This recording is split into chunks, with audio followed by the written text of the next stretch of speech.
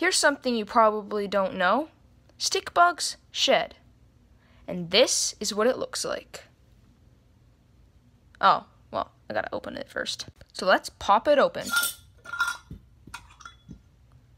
And let's get a closer look. It's actually quite gross looking, but if my camera will focus, you can kind of see the resemblance between this fella right here and the strangled, twisted legs and arms. Now, I've actually collected like a ton of this over the uh, years, and uh, it's pretty gross.